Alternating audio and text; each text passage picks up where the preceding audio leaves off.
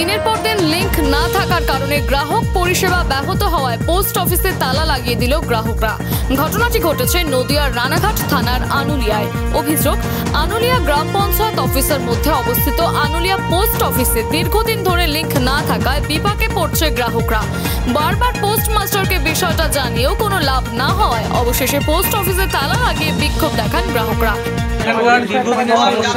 Post অফিসের কোনো কাজ কোনো কাজ সঠিকভাবে হয় না।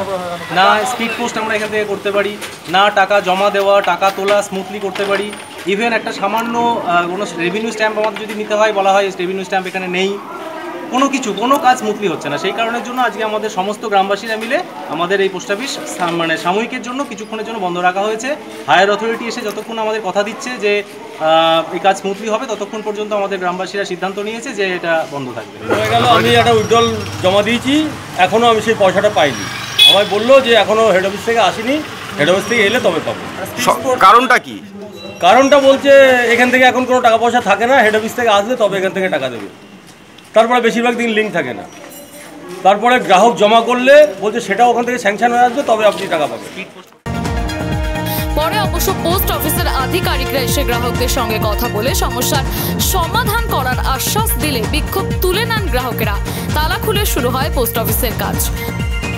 এখানটায় পরিষেবা দেওয়া হচ্ছে না লিঙ্কের অভাবের জন্য। তো সেই জন্য গ্রামবাসীরা বন্ধ করে দিয়েছে বাইরে থেকে তালা। নদিয়া রানাঘাট থেকে পিন্টু বণিকের রিপোর্ট বেঙ্গল লাইভ।